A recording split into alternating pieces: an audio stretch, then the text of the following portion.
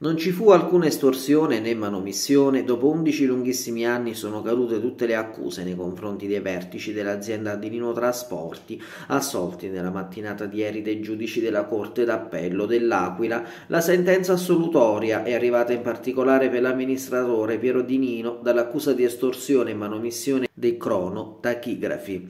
Secondo l'accusa di Nino, si era reso responsabile in almeno due degli episodi contestati di estorsione, ovvero di aver costretto i suoi dipendenti a installare dei magneti sui mezzi della ditta per taroccare gli orari di lavoro e di pausa, minacciandoli, se non avessero obbedito, di farli lavorare di meno o per niente.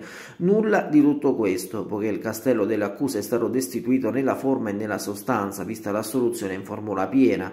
In primo grado era già caduta la più grave accusa del voto di scambio. Assolto anche l'altro amministratore Stefano Di Nino dall'accusa di manomissione dei cronotachigrafi che secondo la procura aveva portato alla violazione della sicurezza dei lavoratori. Assolti tutti gli altri imputati autisti. Per undici anni abbiamo portato avanti una battaglia per vedere accertata l'assoluta innocenza. Oggi la Corte ha accolto le nostre ragioni restituendoci serenità hanno commentato con soddisfazione della Dinino Trasporti che stata difesa in giudizio dagli avvocati Roberto Borgogno, Antonella Dinino, Angelo Pace e Amedeo Ciuffetelli. Finisce un incubo giudiziario.